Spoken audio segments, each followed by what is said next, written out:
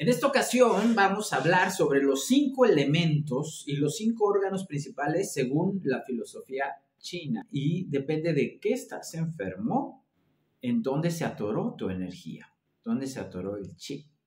Vamos a verlo.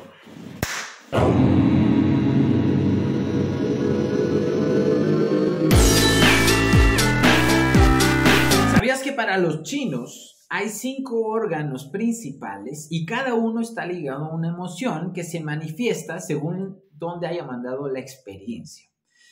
Muy bien, ¿cuáles son esos cinco órganos? Bueno, pues estamos hablando del corazón, del vaso, vaso páncreas, estamos hablando del pulmón, estamos hablando de los riñones y estamos hablando del hígado.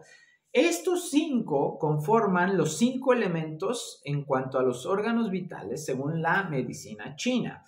Y estamos hablando de energía, estamos hablando del chi. Para los chinos, el chi, que es la energía vital, puede atorarse, puede eh, quedarse impregnado, ¿sí? De alguna manera. Imagínate una manguera que está fluyendo el agua limpia, así a un ritmo, y de repente hay una experiencia y se dobla la manguera. ¿Te ha tocado que estás regando y pues, ya sale muy poquito? Ah, pues el chi empieza, empieza a atorar porque hay un pellizco en esa manguera. Bueno, pues tu flujo vital también te empieza a generar y muchas veces esta parte energética, que es lo que hacen con la acupuntura, ¿sí? tratar de liberar esa energía para sanar uno de estos cuadros de los cinco órganos y poder empezarte a sanar para que empiece a fluir tu energía vital. De eso se trata. Entonces, fíjate bien cómo hay una emoción relacionada. Voy a explicar. Primero el corazón es como el emperador. El corazón es el que rifa, el corazón es el rey. Y el corazón es como el gran espíritu que está ahí presente. Cuando una experiencia, que en el caso eh, del chi puede ser una emoción que pasó, un suceso exterior, algo inesperado, has escuchado que dices, ¡Ah! se hizo diabético de un susto. Bueno, pues sí, hay emociones tan intensas externas que si yo estoy desequilibrado, eh, me va a generar una torre del chi y me lo va a mandar a un órgano, ¿no? Y cuando se va a alguno de esos dos extremos, de repente me empieza a generar emociones, ¿sí? Que me dicen que el daño se fue al corazón. Por ejemplo, cuando una persona está desilusionada, ¿sí? La desilusión quiere decir que la experiencia la mandó al corazón y puede tener problemas de corazón, ¿de acuerdo? Algo pasó ahí. Hay un, su discurso no es coherente. Las personas que son corazón generalmente están chiflando, cantando, siempre están sonriendo, pero cuando algo pasa, ¡pum!, les pegan el corazón ahí, ¿no? Y no necesariamente si tienes cierta personalidad, si eres corazón, hígado, riñón, no. Simplemente ahí, ¡pum!, ahí cayó, ¿no? Voy a dar ejemplos al final para que veas qué fácil es y qué fascinante es esto, hasta identificar en dónde trae, según la emoción, qué órgano. Luego está eh, el vasopáncreas, que es la mente, ¿sí? La mente, la que archiva todo, ¿sí? La mente que hace, clasifica todas las experiencias. Cuando algo pasa, una experiencia y se va a la mente, muy seguramente va a ser una persona que trae demasiada preocupación, le pegó a la preocupación, está preocupada, preocupado, preocupado, preocupado. ¿Por qué? Porque esa experiencia, algo que pasó, la mandó ahí. Entonces no va a dormir, va a estar demasiado a mente, le va a estar rumiendo ahí todo el tiempo y eso obviamente le va a generar estrés, insomnio, etc. ¿no? Luego está el pulmón y fíjate qué interesante lo que pasó ahora con la pandemia. ¿De qué se estaba eh, enfermando la gente? De los pulmones. ¿Y cuál fue? ¿Qué es lo que pasó? ¿Cuál fue la ola? ¿Cuál fue el sentimiento que los invadió a todos? La tristeza. Al nosotros privarnos de la convivencia, del contacto humano, del día a día, nos puso tristes. ¿sí? Y esa tristeza obviamente es una enfermedad del pulmón. Entonces el mundo se enfermó de tristeza y el mundo estaba enfermo y padeciendo de enfermedad en el pulmón. La gente que moría moría por afección del pulmón. Mucha de la gente que trascendió ya estaba o tenía un daño en el pulmón por alguna razón, no nos vamos a meter en eso, pero al tener más tristeza y esta experiencia, la gente que la mandó todavía más al pulmón y generó más tristeza, pues ahí esto se hizo más. Hay personas que son pulmón, que son personas que tienen mucha relación pública. Fíjate todo lo que está involucrado. Una persona, un RP, que es amiguera y que todo el tiempo está en contacto con gente, es de esos vendedores que organizan cosas y que están afuera y, y hablan con todos y son los que organizan la fiesta y el alma de la fiesta son, son de relaciones públicas. Eso es el pulmón. Y entonces al pulmón lo aíslas de lo que vive, de su equilibrio energético y entonces todavía le pega más, incluso una depresión real. ¿Por qué? Porque lo estás aislando de lo que le genera vida y por eso se deprime más y por eso el pulmón genera una tristeza tal que puede llegar a una afección con un virus y es mucho más susceptible y débil todavía de ahí. Ok, luego viene los riñones, que es el otro órgano, los otros órganos. Los riñones, cuando alguien es miedoso, cuando una experiencia te da miedo, no sabes qué hacer, esa experiencia, esa energía se fue a los riñones, se atoró ahí.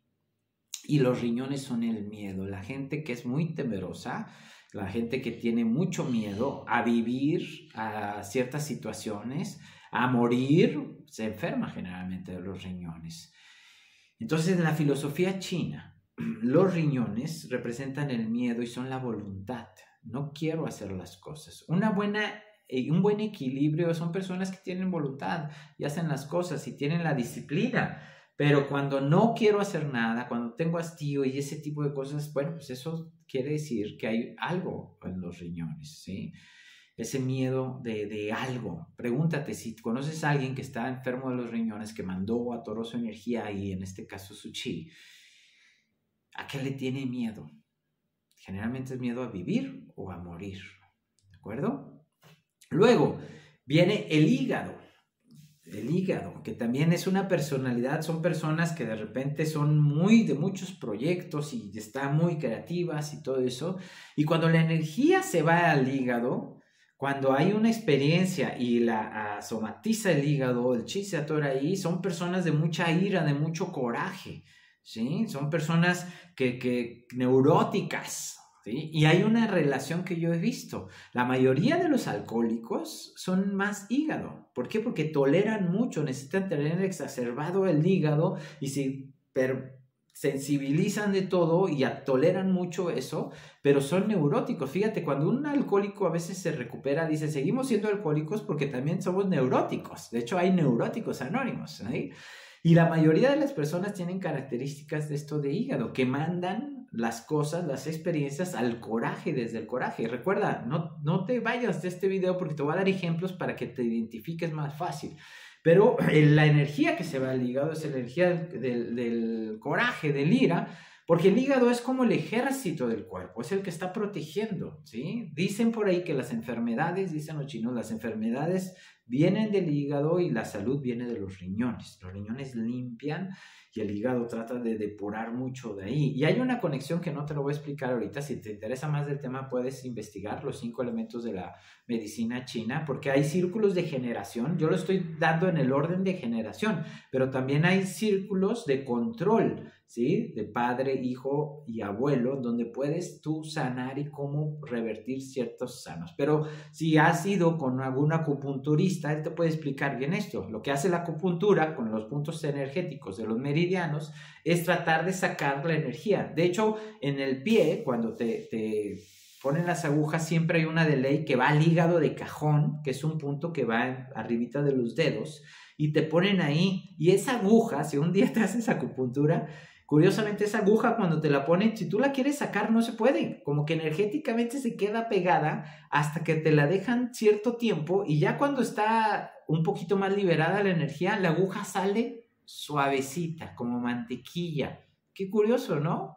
Está de pensarse. Como al inicio esa antenita que te está sanando no puede salir. ¿Por qué? Porque la está jalando la energía. ¡Ah! Es una lucha, es una depuración, es una limpieza energética tal cual de los meridianos, pero no puede salir y al ratito, sale. ¿Por qué? Porque ya se equilibró un poquito ahí la energía. Es una maravilla. Pero bueno, y entonces el hígado es la ira y el coraje. Fíjate bien, te voy a dar dos ejemplos. Una experiencia de un abuso, ¿sí? De repente abusaron este, a lo mejor de alguien y este, un abuso me refiero físico, ¿sí? En este caso. Y de repente, este, si la experiencia la mandó al corazón, ese trauma se va al corazón, quizás esa persona ya esté desilusionada del amor y, y nunca se case. ¿Por qué? Porque trae, es impregnada ese trauma en el corazón, porque la energía la mandó así y se transformó en desilusión. Entonces quedó desilusionado de las mujeres, del hombre, lo que haya sido su agresor, ¿no?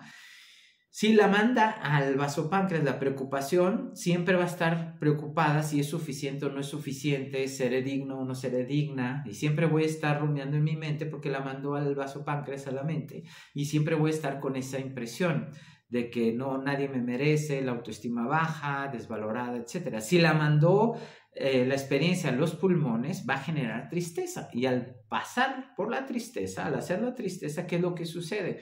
Que va a estar triste siempre, siempre en cualquier ocasión va a decir yo sufrí un abuso y desde la victimez y lo va a llorar y entonces va a andar triste por la vida sin poderse dar eh, permiso de disfrute, de volverse a enamorar, de un reencuentro, de algo, ¿no? Entonces vivo con tristeza y siempre en depresión por ese trauma que no puedo olvidar del pasado porque lo mandó mi experiencia a los pulmones. Si lo mandó a los riñones, voy a tener miedo, voy a andar con pánico, no quiero acercarme si, al sexo que me agredió. Entonces vivo con miedo y siempre me voy a buscar aislar de eso. ¿Sí? Si la mandó al hígado, va a tener coraje contra el sexo opuesto que lo agredió y va a ser, ah, yo no los quiero y los va a repulsar y siempre va a tener así ese repudio, incluso puede organizar hasta marchas como ahora, de que tengo odio por esto, porque tal, tal, tal, ¿te fijas cómo es? Ahora vamos a poner algo que no sea una agresión, te corrieron de tu chamba. Imagínate que te corren de tu chamba y llega tu amiga o tu amigo y te dice, híjole, pues yo ya tenía, yo quería quedarme ahí, era una buena empresa, me gustaba ese trabajo. Te está hablando desde dónde? Desde la desilusión. ¿Qué quiere decir? Que la experiencia de la energía se fue al corazón.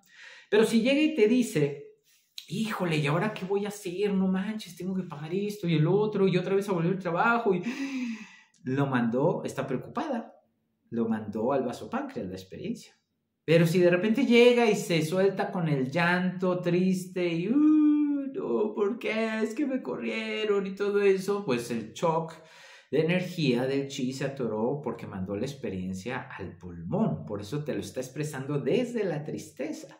¿Y qué pasa si de repente dice, ¿qué voy a hacer? No sé, y se empieza a panicar y ataques de ansiedad y no sabe cómo confrontar el futuro? Pues porque lo mandó la experiencia con esa energía al riñón y por eso lo está expresando desde el miedo. Y si lo mandó y dice, hijos de su Pink Floyd, ¿por qué me hicieron eso? Méndicos, y yo que tanto les di, todo eso, ¿a dónde mandó la experiencia? Si está con coraje, si está con ira, pues la mandó al hígado. ¿Te fijas?